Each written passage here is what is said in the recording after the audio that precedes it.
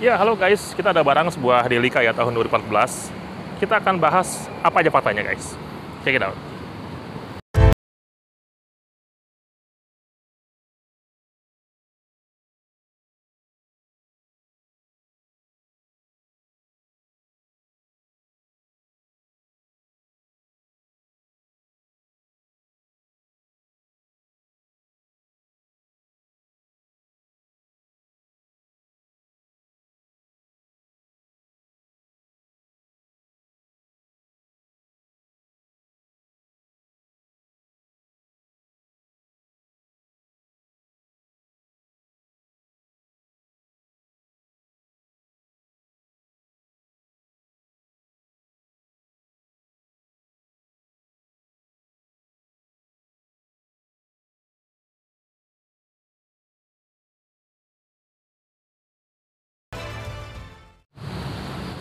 Oke, sekarang fakta pertama ya.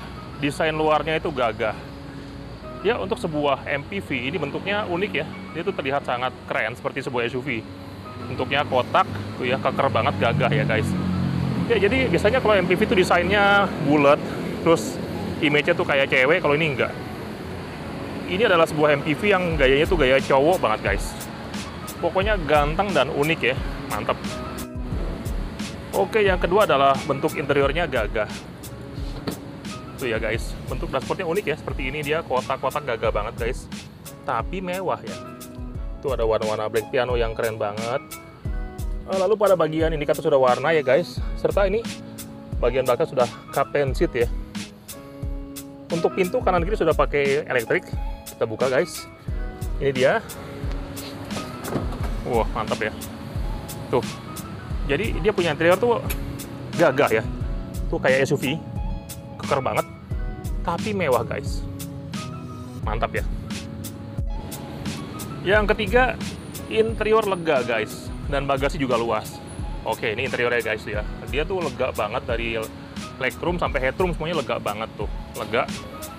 Dan jok pada bagian tengah sama belakang itu bisa di setel maju mundur sehingga sangat-sangat apa ya, sangat-sangat fleksibel ya guys. Oke, sekarang pada bagian bagasinya. Ini bagasinya, guys. Ini posisi paling mundur ya, guys. Ini bagasinya masih luas. Dan ini jok belakang ini bisa dimajukan. Dan jok tengah juga bisa maju, guys. Sehingga ruang bagasi bisa lebih, lebih maksimal. Serta juga bisa dilipat.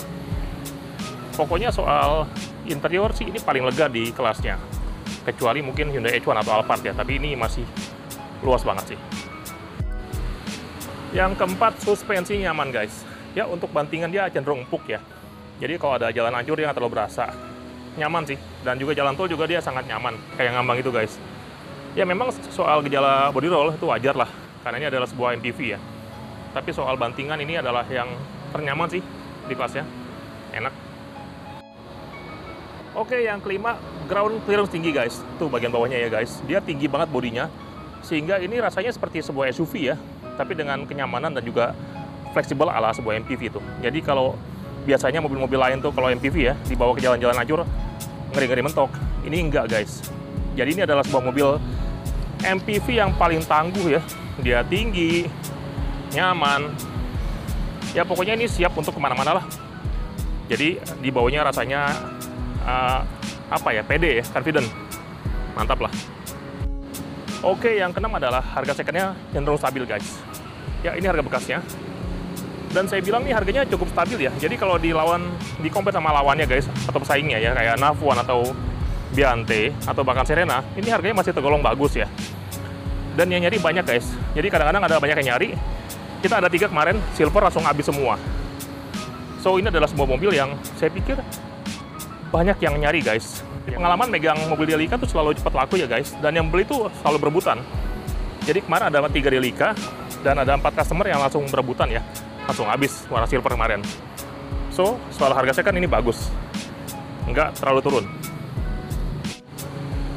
Ya oke okay guys. Itu adalah 6 fakta mengenai Mitsubishi Delica ya guys. Sebuah mobil MPV yang unik ya. Desainnya pun juga keren. Dan harganya pun juga cukup menarik sebagai sebuah apa ya pilihan yang oke okay lah. Jadi kalau anda cari bisa hubungi sini ada di Bendi Cinere guys. Oke okay. wassalam